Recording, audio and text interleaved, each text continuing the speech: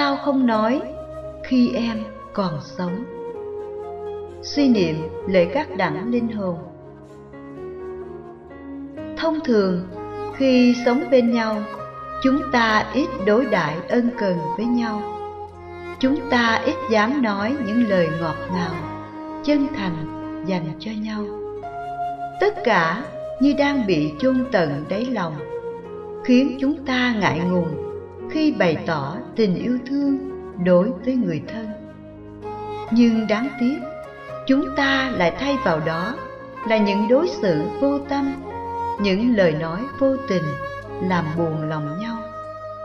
Để đến khi ta mất đi người thân, vĩnh viễn không còn thấy nhau nữa, thì cảm xúc yêu thương được xuất phát từ trái tim mới biểu lộ. Buồn thay, người đã chết rồi không còn nghe được nữa. Có thể những lời yêu thương ngọt ngào như thế, lúc còn sống, người thân chúng ta khao khát muốn được nghe biết bao nhiêu. Thế mà chúng ta chỉ biết cho nhau những lời chì chiết lạc lẽo vô tình.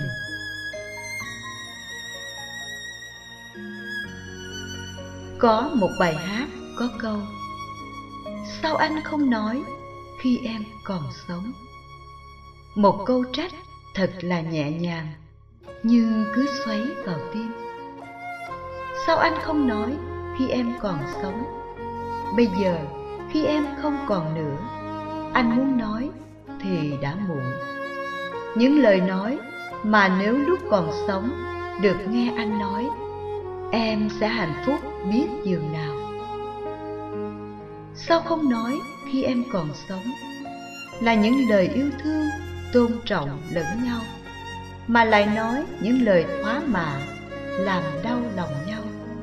Để khi người thân đã ra đi, thì tiếc nuối cũng bằng không. Sao không nói khi em còn sống? Là những lời xây dựng, vun đắp hạnh phúc cho nhau, mà lại nói những lời đắng lắng thô bỉ với nhau. Sao không nói khi em còn sống? Là những lời cảm thông, tha thứ cho nhau, mà lại nói những lời chì chiết làm đau lòng nhau.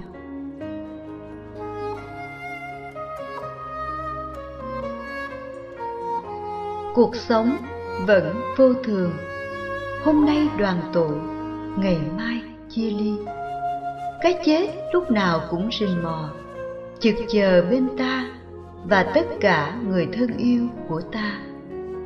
Hãy sống, hãy yêu thương, hãy nói những lời thật ngọt ngào, xuất phát từ trái tim, đối với những người thân yêu của mình. Vì có thể bất cứ lúc nào, chúng ta cũng có thể mất nhau.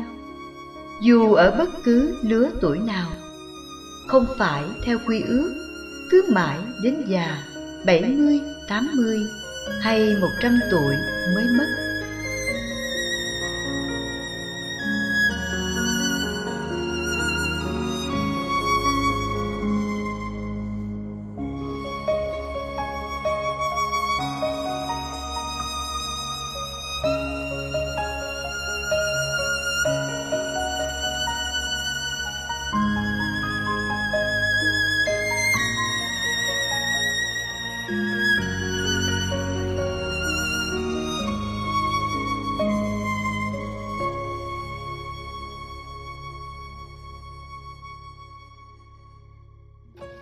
Tháng 11 phải chăng cũng gợi nhớ cho chúng ta một niềm nuối tiếc nào đó về một người thân mà ta đã đối xử thiếu tình người mà nay họ không còn? Chúng ta tiếc nuối vì đã không nói những lời yêu thương dành cho họ. Chúng ta nuối tiếc về những lần chúng ta đối xử bất khoan dung với nhau chúng ta nuối tiếc vì nhiều cơ hội để phục vụ cho họ mà ta cố tình bỏ qua. Và bây giờ, khi xa cách, họ cũng đang nói với chúng ta, sao không nói khi em còn sống? Tháng 11 không dừng lại việc nhớ đến người quá cố, mà là dịp để ta làm điều gì đó cho họ. Họ đang cần chúng ta yêu thương. Hãy yêu thương họ bằng việc cầu nguyện, làm việc lành phúc đức cho họ. Họ đã an nghỉ trong Chúa, thế nên họ chẳng cần chúng ta nói gì với họ. Điều họ cần là hãy thay họ đền tội và lập công cho họ. Hãy tạo công nghiệp cho họ, như là cách thể hiện lời nói yêu thương dành cho họ. Cuộc sống con người luôn thiếu sót trong đức ái và đức mến.